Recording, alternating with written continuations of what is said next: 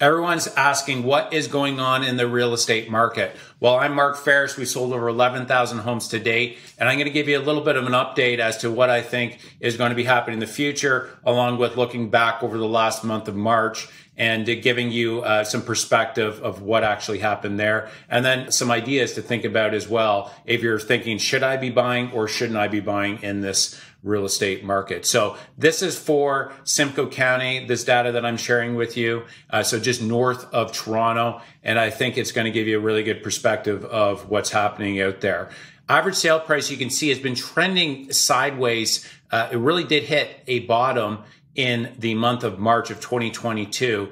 And uh, around this time, in the beginning of the year, I mentioned I really think that we hit a bottom when it comes down to uh, price, because I mean dr- prices dropped on average from 940,000 down to 687,000 over the month uh, from February to March. It dropped slightly, but I really believe that we've hit a bottom here, and it's going to continue to trend sideways. New listings coming on the open market have increased from 813 to 1210. Uh, but again, if you look back over the last couple of years, 1,533 new listings came on in March of 2022. And you could see in 2021, there were close to 1,700 new listings. So not as many sellers coming on the open market. Number of sales, this is something that I look at fairly closely because it's a really good gauge as to if there's a, a lot of buyers that are actively buying homes. Really interesting here. If you look back over the last few years when COVID hit, I don't know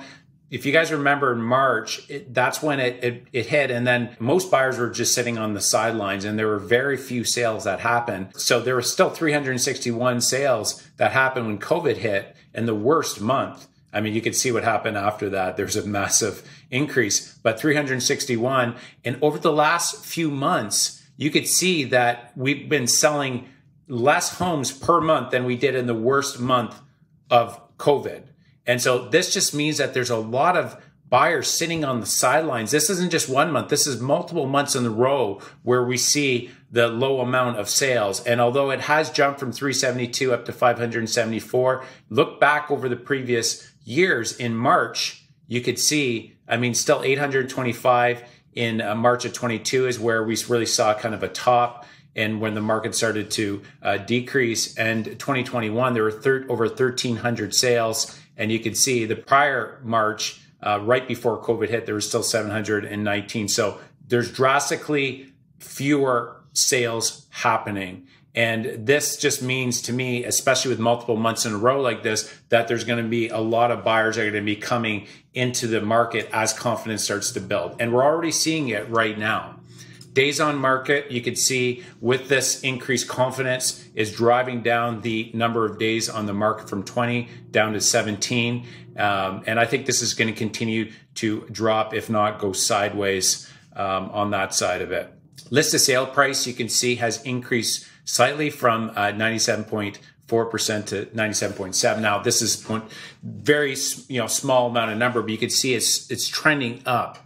In uh, November, December, January really dropped down to 96%, but we're starting to see that trend up. It just means on average, sellers are dropping uh, approximately about 2% down on their list price uh, overall.